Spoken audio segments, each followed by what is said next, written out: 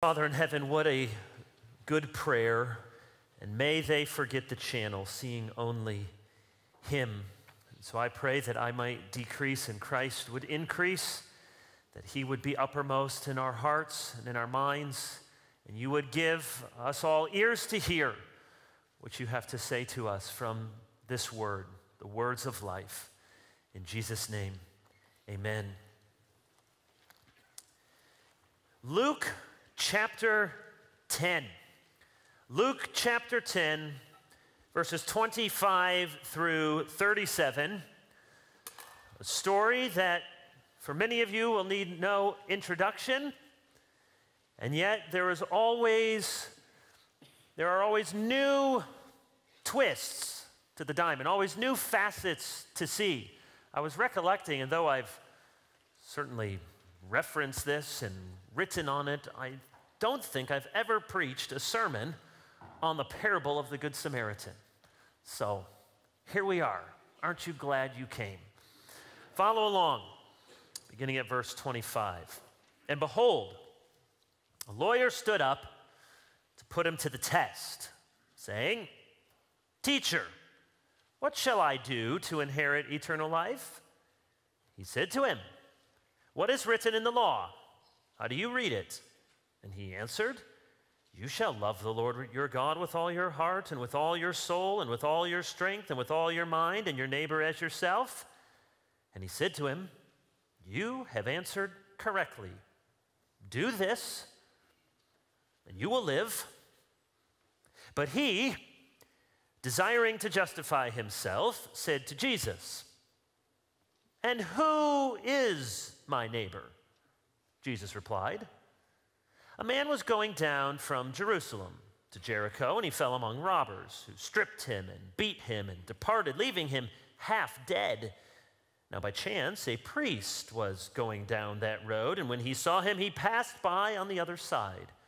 So, likewise, a Levite, when he came to the place and saw him, passed by on the other side. But a Samaritan, as he journeyed, came to where he was, and when he saw him, he had compassion. He went to him and bound up his wounds, pouring on oil and wine. Then he set him on his own animal and brought him to an inn and took care of him. And the next day he took out two denarii and gave them to the innkeeper, saying, Take care of him. Whatever more you spend, I will repay you when I come back. Which of these three do you think proved to be a neighbor to the man who fell among the robbers? He said, The one who showed him mercy. And Jesus said to him, You go and do likewise. No doubt this is one of the most famous parables, if not the most famous parable, perhaps only rivaling Luke 15 and the prodigal son. Not only that, it's one of the most famous stories anywhere in the Bible. In fact, probably one of the most famous stories ever told by anyone anywhere in the history of the world. Almost every Christian knows the parable of the Good Samaritan. Even many non Christians have heard of this story or they use the term. I've seen it just two or three times in the past few months. Some news story of some man who had no connection to a hurting person or a struggling child or a lost puppy, and he went and helped them. And he is labeled a good Samaritan. If someone goes out of his way to help someone else, especially if that other person is a stranger to him, we say, he or she, what a good Samaritan. So we're familiar with this story, most of us. The challenge then is just the opposite with the sort of text we've been going through in Leviticus, which seems strange and alien and on the face of it don't make much sense. The challenge there is to open our eyes and realize, ah, there's a lot going on here we didn't see. The challenge with a text like this is just the opposite. It's right here. Go and do likewise. Uh, you should help people. Let's pray just in time for kickoff. but that's not what we're going to do. We may think we know this parable, and we do, but there are facets we haven't seen before. I want to divide this sermon into three parts. Number one, the question. Number two, the non answer. And then number three, the exhortation. So, part number one, the question, there in the first paragraph. The question is actually two questions, two parts. Likely, this lawyer knew what he was doing, and the first question was probably leading up to the second question. The first question he asked has to do with eternal life. Now, lots of jokes about lawyers, and we have some in our church. We're thankful for them. Not all the lawyers in the Bible are bad. This one does seem, however, to have a bit of a devious motive, a test. Now, the word test isn't always bad, but more often than not in the Gospels, to test Jesus is to try to trap him, to try to put him in a corner, or at least, most innocuously, to give him a, thor- a sort of theological stumper. It's probably not an honest question, as we'll come to in verse 29, because his follow up question tries to justify himself. Something of a trap. Can you give me the right answer, Jesus?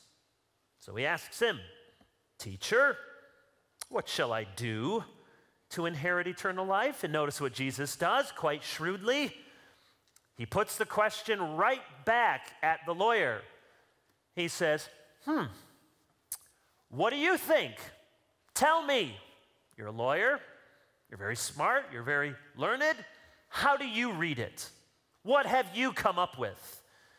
And so the man gives a familiar answer. This was not an uncommon question. We see it in other parts in the Gospels.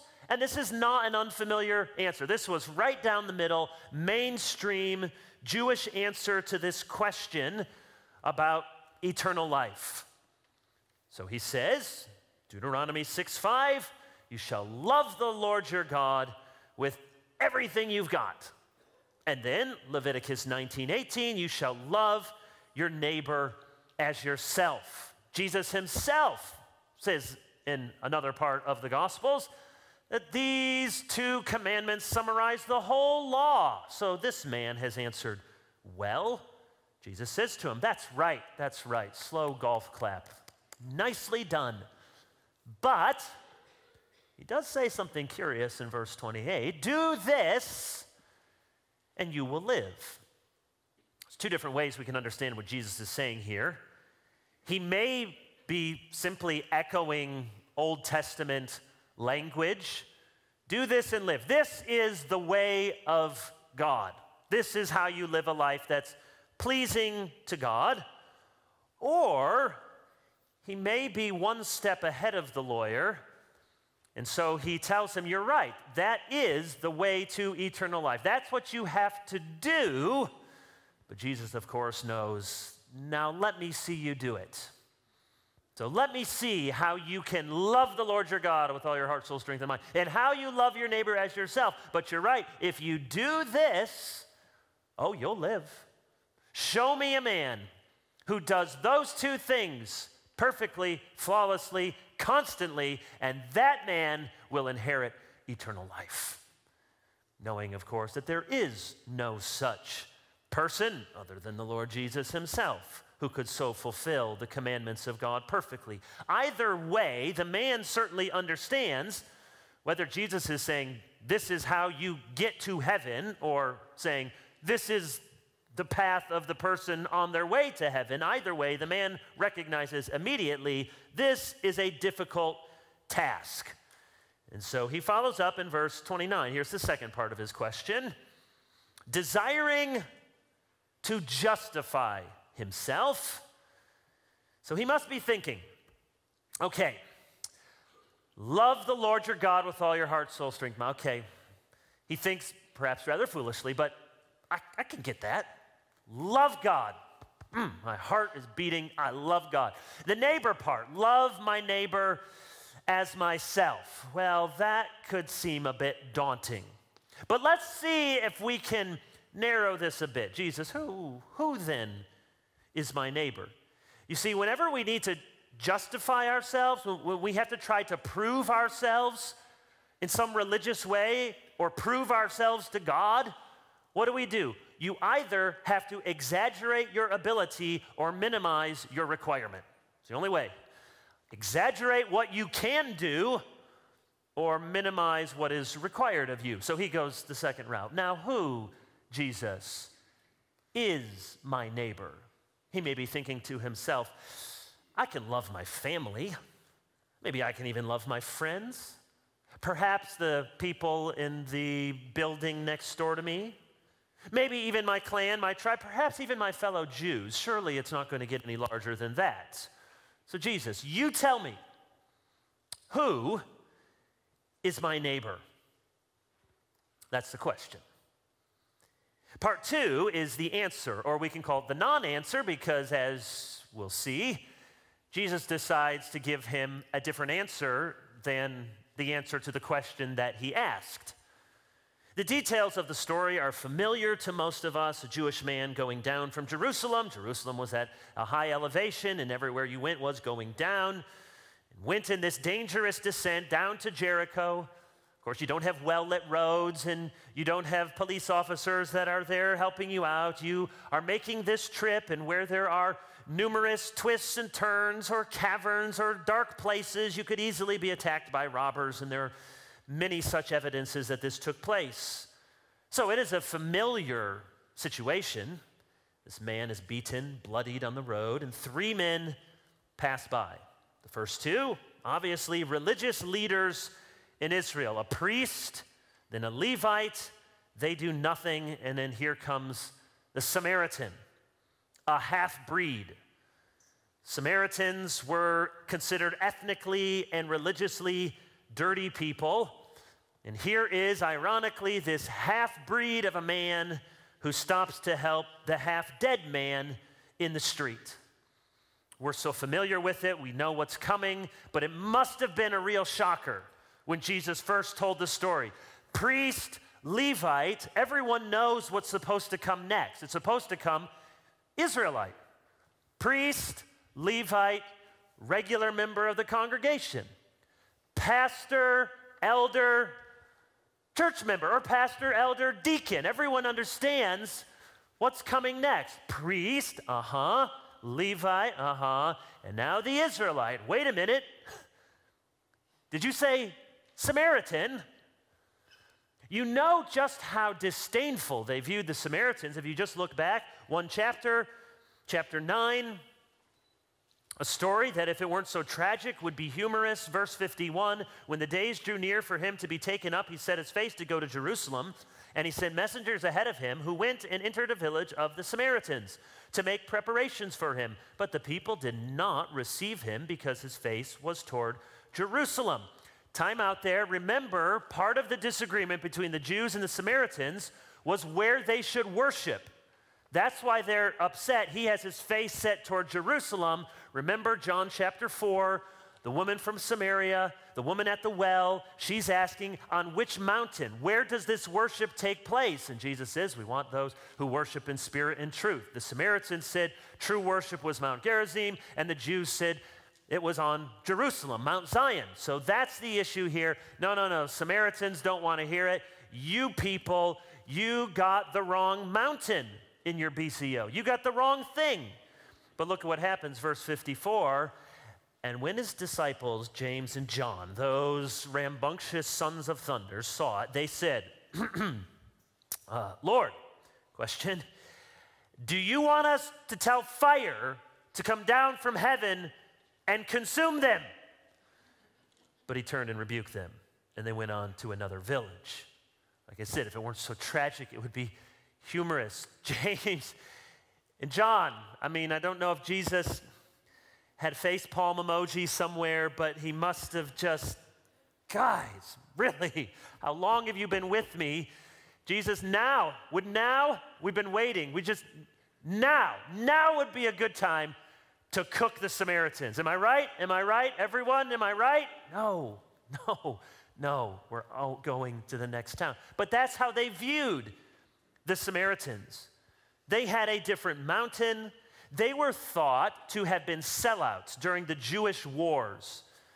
During the Jewish wars, this intertestamental period, It's told that they denied being Jews and then betrayed their kinsmen. Josephus, the Jewish historian who later went over to the side of the Romans, details in several places the hatred between Jews and Samaritans.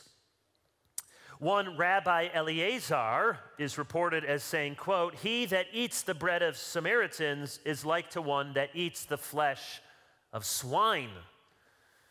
The Jewish book in the Apocrypha Sirach ends with Ben Sira saying, Two nations my soul detests, and the third is not even a people, those who live in Seir, and the Philistines, and the foolish people who live in Shechem. Those were the Samaritans.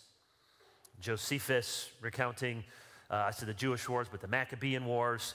These were the conflicts between the Jews and the Samaritans.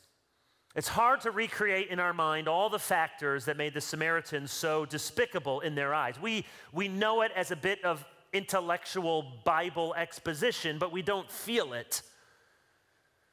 Some have coined this term repugnant cultural other, RCO, not ROU, rodents of unusual size. Those are different, but these are repugnant cultural other, RCO, and it's a label given to the sort of people uh, that we all feel, the sort of person who's of a different cult, a different tribe, a different, they wear a different jersey. Now, Jesus was not trying to excuse whatever theological errors the Samaritans had, or whatever ethical errors, or whatever personal sins. That's what makes the reference so scandalous, as someone might have wanted to say. But, but Jesus, what about? Well, he's not going into an elaborate theology of the Samaritan way of worship, but he did obviously want to put a bad guy in the lead role as the good guy. There have always been out groups and in groups. And for the Jews, Samaritans were an out group. Now, further out than that were the Gentiles, but these half breeds, as they considered them, were an out group. This has happened in every human culture. It's not to excuse the sin, it's just to say it's a fact of human nature, depending on where you are or where you are from or your ethnic group. Tragically, at times in American history, it has been black people. In other countries, it might be if you are non Han Chinese, or if you're Arab, or if you're Jews. It's always the case that there are some people that are looked upon as something less. If you will permit just a small illustration from The Simpsons, I used to watch, I don't anymore. Bart and Lisa are playing nicely outside during recess. Groundskeeper Willie, who is this very over the top, exaggerated Scotsman. Groundskeeper Willie, he talks like that, looks out and he says, It'll never last. Brothers and sisters are natural enemies, like Englishmen and Scots, like Welshmen and Scots, like Japanese and Scots, or Scots and other Scots. Darned Scots, they ruined Scotland. We can say that because we are Presbyterian and we have fighting Scots among us. It may be, if you're in one part of the country, that you would put as the other New Yorkers or a lobbyist from Washington, D.C.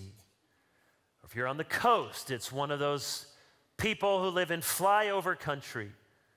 You might put there, and then a farmer from Kansas, a miner from West Virginia. Depending upon your political orientation, it might be that Jesus says, and then someone walked up with one of those Ruth Bader Ginsburg t shirts. Or he might say, and then someone came up wearing a red MAGA hat. If it was during the Civil War, you might say, General Lee and Stonewall Jackson passed by and a Yankee came. Or General Grant, General Sherman, and then Johnny Reb came, whoever your out group in the in group, a PCA pastor, a PCA elder, and a liberal Methodist. Now, you could personalize it. Think about the person in your life who you feel absolutely betrayed you, the group of people who have let you down, the sort of person. Now, you're too nice to want to say it out loud, but you know there's a sort of person deep down you know they're no good, they're compromised, they absolutely cannot be trusted. And she or he may have a name, or it may be just a group of people, or a certain identity block, but there they are. And you feel it and you know it. And if someone were to mention that group of people, you would immediately mm, feel there's nothing good with those folks. These were the Samaritans. Part of what Jesus is doing in trying to illustrate this command, love your neighbor as yourself, is not to say, well, of course, there's two commands. One, first you have to love yourself, and then love your neighbor as yourself. Some people try to say that. That's not what Jesus means. It's not what Leviticus means with the command. Even if you have low self esteem, even if you go through life and you feel like I'm a loser, no one likes me, still you want to be treated well. In fact, oftentimes, if you walk around with self loathing, it may be because you have been treated so poorly or because you are so desperate to have people try to love you. The point is, we all love ourselves in that we all want to be treated fairly, justly.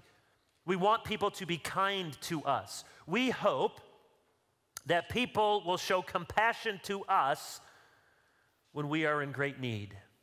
And so, some of what Jesus is doing is perhaps getting his listeners and getting us to ponder listen, you may be on the other side of the road someday. Don't we all read this story? We all put ourselves in those three men who passed by. Which one would I? Would I have been the priest? Would I have been the Levite? Oh, I hope I would have been the Good Samaritan. We all put ourselves there in the protagonist, and that's right. But I think Jesus also wants to us imagine what if you're that man? What if you're the one half dead, beaten, bloodied on the side of the road? We, we all think that we'll be the one with the opportunity to help and be noble and save someone's life, and I will surely do it but live long enough, and we all have the opportunity to be the person in the ditch needing the help. And see, Jesus wants us to think love your neighbor as yourself. If you're there and you're about to die, you're so beaten. You don't care if it's a Samaritan. You don't care if it's a someone from the coast or flyover country. You, you don't care how that person voted at that moment. You want them to help you not die. You want them to be a neighbor. We hope that people will show compassion to us. No one wants all of the travelers to pass by the other side of the road when you're the one lying half dead. So Jesus wants us to ponder will you treat others now like you would want to be treated in your time of need? Or even more poignantly, would you allow yourself to be helped by your enemy? It's one thing to consider. I would be the noble one to go and help those who considered me their enemy. Would you be willing to be helped by your enemy? The lawyer, we understand, wants to define neighbor quite narrowly. But you notice that Jesus moves in the opposite direction. He asks the question, verse 29 who is my neighbor? And I said, Jesus gives a non answer because he never answers that question. He never tells the man who is his neighbor. What he does is communicate don't figure out who is my neighbor, concentrate on being the good neighbor. As one author puts it, he moves neighbor from object to subject.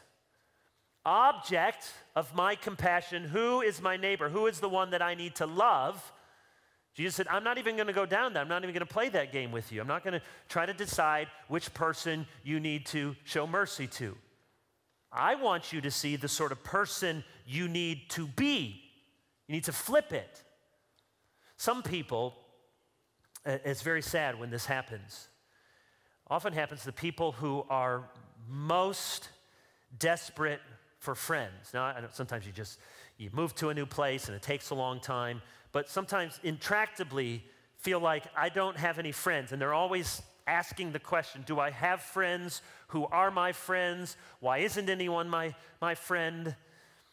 And there's a lot of reasons for that, but you, you got to help people turn and say, Well, I, I don't know how people are mistreating you. They may very well be, but you're going to have a very hard time getting friends just asking, Where are my friends? Why aren't people?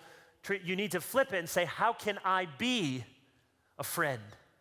The people who know how to be friends find it much easier to get friends. So Jesus wants you to switch. The concept of neighbor cannot be price, uh, precisely defined, it must rather be lived out. That's the non answer. Which leads finally in verse 37 to the exhortation. Did you notice in these two paragraphs, there's a very definite pattern? Have you seen this before? Lawyer's question, Jesus question, lawyer's answer, Jesus command. It happens exactly the same way in both paragraphs. First paragraph, lawyer asks the question, What shall I do to inherit eternal life? Jesus responds with a question, What do you think? Lawyer gives an answer, Love God, love my neighbor. Jesus gives a command, Go and do likewise. Do it, and you'll live. Same exact pattern in the second paragraph. The lawyer asks, Who is my neighbor? Now, Jesus tells a story in the middle of it, but then Jesus asks the, asks the question and says, What do you think? Who showed the man mercy? Then the lawyer responds, says, The one who showed mercy, he was the neighbor. Jesus finishes with a command, That's right, now go do it. Lawyer question, Jesus question, lawyer answer, Jesus command. The exact same pattern in both halves of the passage. Now, as soon as we come to the end, you go and do likewise. Lots of problems come into our minds. At least they do in my mind, perhaps because I've always been the sort of person who feels, well, probably two, two reasons. One, the good reason, I think I'm a person who feels a strong sense of obligation. I was the kid in class, if the teacher asked if there were any questions, I was like, somebody should say something. Ask a question. So I start having all sorts of questions about how this works out. Probably also, honestly, is I don't have a heart that's as compassionate as it should be. So I don't know about you, but I have a lot of questions come to my mind when Jesus says, Go and do likewise. I want to say, but Jesus, we know with our phones about a billion people in need. Do I have to care for all of them? What if the problems are not as simple as this one? So this man was, the need was urgent, clear, and immediate. And the man had to do something, the traveler, the Samaritan, or he would die. And he only had to care for him for a short time, and then he gave him two coins, which probably cared for him at the inn for maybe a couple of weeks. And then he went on. Uh, but does Jesus want us to go into the town and find the people who are hurting and then set up programs? Is, does that work?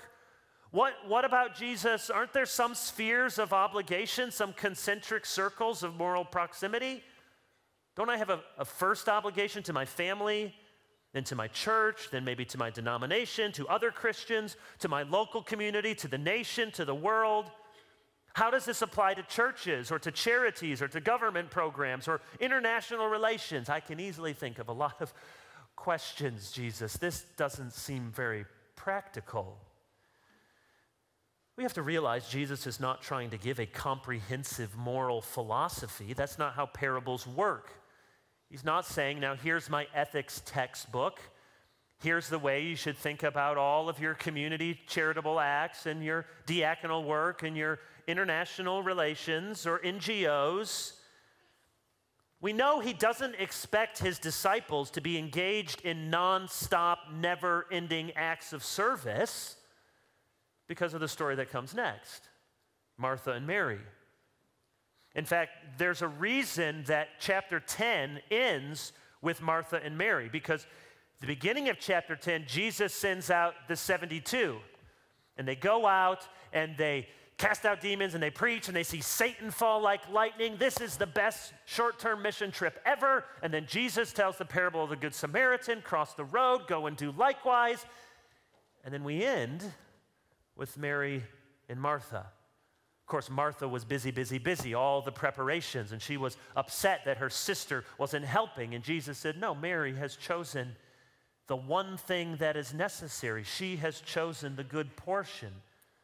The example of Mary shows us that sometimes the good portion is to take a break from the acts of service, to step away from the flurry of activity, simply sit at the feet of Jesus. It's as if Luke 10 means to communicate.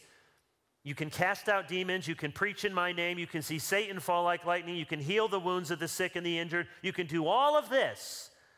But if you don't love me, if you don't learn from me, if you don't put me first, then you've missed the point. So we know from the very context here, Jesus isn't saying, This is your new summons 24 7. No, the parable is not meant to be an exhausting burden. And yet, let's not so do what the lawyer himself wanted to do, which was put a limit and some safeguards that we rob the story of its power, of its shocking, scandalizing, upsetting power. It's supposed to surprise us. It's supposed to make us feel uncomfortable. It's supposed to open our eyes to all the ways we would much prefer to play it safe. So, certainly, it's not a comprehensive moral philosophy or answer every ethical question. The point is what Jesus says to act. Let me give you four questions. I find these very challenging in my own life, in my own heart. Number one, are you willing to give of your money this man gave something of his money to help. And notice this, this wasn't to the synagogue. Are you willing to give your money to help people when no one knows about it? When you don't even have a 501c3 to send you one of those forms that you're getting in the mail before you do your taxes that says this is a charitable contribution, you can deduct this from your tax burden. Would you just give because there's a need and you can help. Second question Are you willing to give of your time? I don't know about you. I, I'd, if I'm honest, I'd rather give my money, my time. Both can feel in short supply, but you can make more money, at least try to. You can't make more time.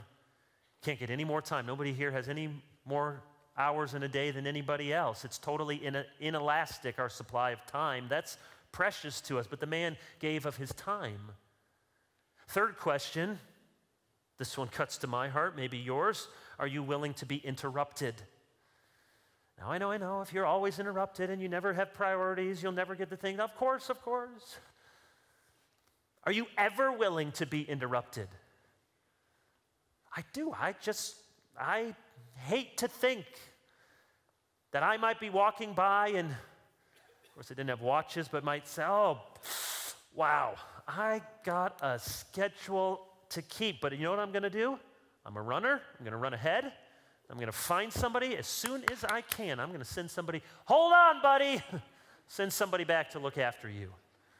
Are you willing to be interrupted to help someone? Because when people have urgent needs, it's never convenient. You don't just have a block of time to go wait with somebody at the hospital, to go attend to this person right in front of you. I know it's uh, not the same as parenting, but is there some, re- some relationship here, parents? Your kids constantly have needs, never feels like the right time. It's the life of a parent to be willing to be interrupted. How about a fourth question? Are you eager to show mercy or eager to limit who deserves mercy? Of course, the way you put it there, deserves mercy neuters mercy of what it is in the first place. You can't give mercy if someone is deserving of mercy. Mercy is, by definition, undeserved. Why should a Samaritan help a Jew? Why should a Jew want to be helped by a Samaritan? What are you eager to find? To try to limit and constrain, or eager to give and to show compassion? The parable of the good Samaritan is the narrative equivalent to Paul's command in Galatians 6:10 to do good to all people as you have opportunity. You can't do good to all people all the time. But as you have opportunity, Paul said, they're going to be there. W- will you have the open heart and the open eyes to see it when it's in front of you? Not every need will be presented as dramatically as this one, or as much ought as a man half dead lying on, alone on the side of the road.